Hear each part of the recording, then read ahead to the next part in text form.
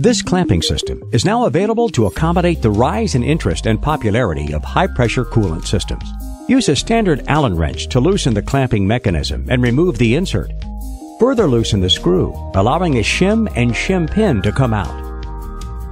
Now remove the lever and clean the exposed areas until free of dirt, chips, and other debris. Proper maintenance is key for top tool performance.